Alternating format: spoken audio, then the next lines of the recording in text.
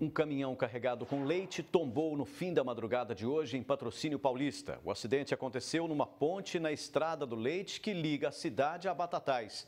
O motorista está desaparecido e o Corpo de Bombeiros de Franca realiza buscas no rio Sapucaí desde as 9 horas da manhã. A polícia acredita que o condutor tenha perdido o controle da direção, causando o acidente. O caso é investigado.